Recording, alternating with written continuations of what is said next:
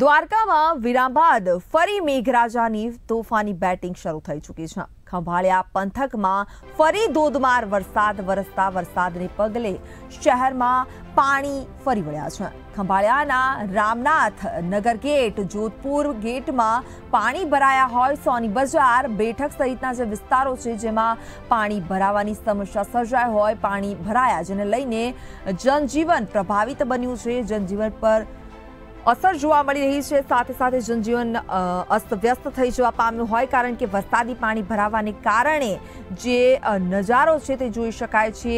જે વાહન ચાલકો છે તેઓ ચલાવી ન શકે તેવી સ્થિતિનું સર્જન થઈ હોય.